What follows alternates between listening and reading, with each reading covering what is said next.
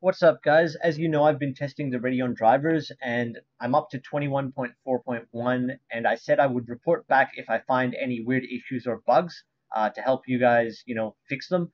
And I have stumbled across something that I've reproduced on two different machines with two different AMD graphics cards running the 21.4.1 drivers. Uh, both machines are also running MSI Afterburner, so I'll just share that info. And it's not a conflict between fan curves because I only use Afterburner for the overlay. Um, but Afterburner was instrumental in helping me find the Radeon or AMD driver software fix.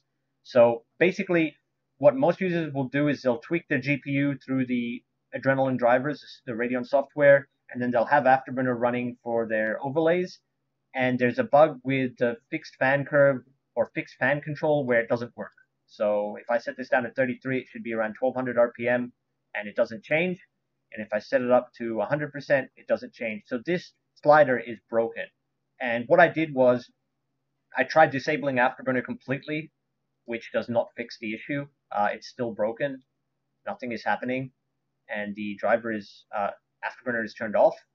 And if Afterburner is running, Afterburner has a workaround built into it where if you set a fixed speed, it will work, but there's a reason it works. There's a reason that it's able to fix the speed to 80%, for example. And just watch this. When I set it to 80% in Afterburner, it sets it jumps to 80% in the drivers. So it's working, and you'll see the span, the RPM jump up to 3,500. And it's not because Afterburner has better control than the drivers of your fans. It's actually because Afterburner is doing this in the background.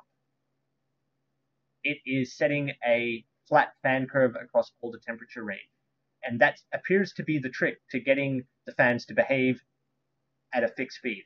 So if you've been having this issue where you've been wanting to set a fixed speed for benchmarking, for whatever you're doing with your GPU, and it hasn't been working through the drivers, this is the workaround is if you're if you're setting a lower speed, use the rightmost reference point and drag it down to you know 35% and hit apply and it will work through the drivers. You don't need Afterburner. Like even though Afterburner is a good workaround as well, uh, if you just if you're just happy to use the Radeon drivers and you don't have to keep switching between them, just do this. Instead of using the percentage, which will change as well, the percentage follows whatever flat curve you set.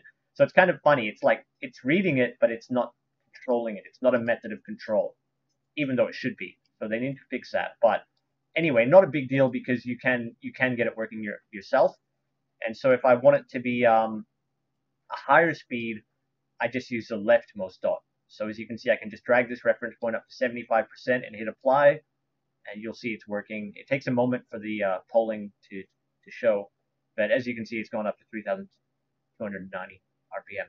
So I wanted to share that because it was kind of bugging me. I was switching between them, and then I, I finally figured it out when I was going back to a, a, a manual curve, and I'd been running a afterburner fixed curve, and I just noticed because you know, I've been doing this a few times. I'd have my gaming curve running, and then I went to run a benchmark, but I didn't. I did. I already knew that this was broken, right? So I left this on, and then I went, okay, I'm gonna set. I'm gonna set, you know, 90% through Afterburner. And when I set it through Afterburner, I, I can't remember what I was doing. Like I, I had the drivers closed, and I switched back, and as you can see, that's just what exactly what happened just then. Is my curve became a flat curve across the whole range. And then I went, oh, that's what Afterburner is doing. So I just tried doing that and it works fine.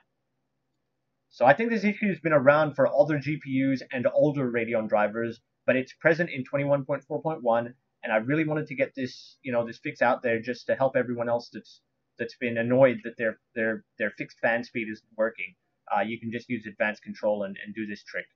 So thanks for watching, guys. I hope that helps you, and please like and subscribe if you want more similar content in the future. Uh, hopefully not bug fixes, but you know, driver coverage at the very least. So thanks, and see ya.